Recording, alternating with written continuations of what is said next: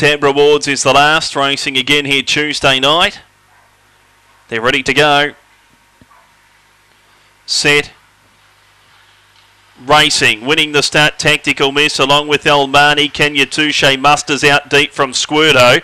Then slip away Robbie, tear away Jock and Fastnet Carney's last of all as they make their way around the turn. Leading the way, Kenya Touche out by two on Tactical Miss. Back to the inside, Almani, but clear Kenya Touche in the last favourites home. Beats Almani slip away Robbie and Squirto, then tear away Jock, Tactical Miss, Fastnet Car, Major Dollar never it at the tail, 22.40 for the run.